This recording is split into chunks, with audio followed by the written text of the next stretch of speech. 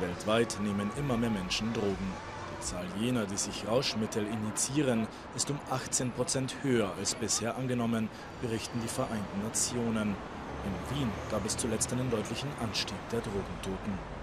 Ich nehme auch Drogen, ja. Was nimmst du so? Äh, ich bin eingestellt auf Morphium, hier und da am Beikonsum. Na, es gibt immer mehr Leute, die was äh, Opiate verkaufen oder es nimmt schon überhand das Ganze, dass immer billiger wird das Ganze.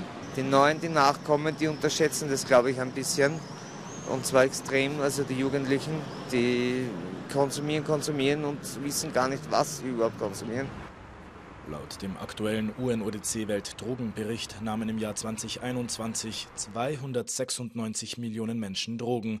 Das sind 23 Prozent mehr als noch vor zehn Jahren. Das häufigste Suchtmittel ist Cannabis, danach folgen Opioide, Amphetamine, Kokain und Ecstasy. Noch dramatischer ist der Anstieg der Personen mit Drogenkonsumstörung. Mit 39,5 Millionen Fällen ist die Zahl im letzten Jahrzehnt um 45 Prozent gestiegen. Nur eine von fünf Personen ist in Behandlung. Doch es gibt auch eine positive Entwicklung.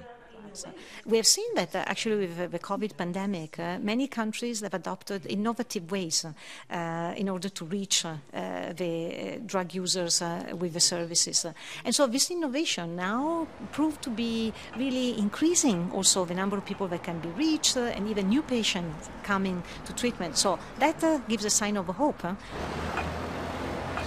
West- und Mitteleuropa sind nach wie vor einer der größten Kokainmärkte weltweit.